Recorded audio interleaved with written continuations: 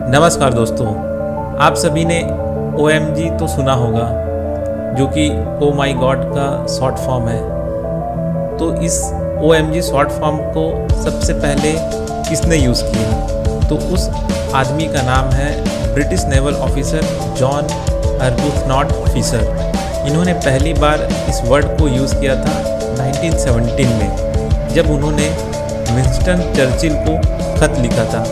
उस खत में उन्होंने ओ को यूज़ किया था पहली बार।